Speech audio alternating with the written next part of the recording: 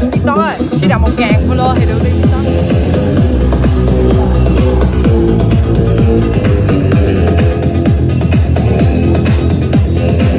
Toán quá vì Do rồi, do do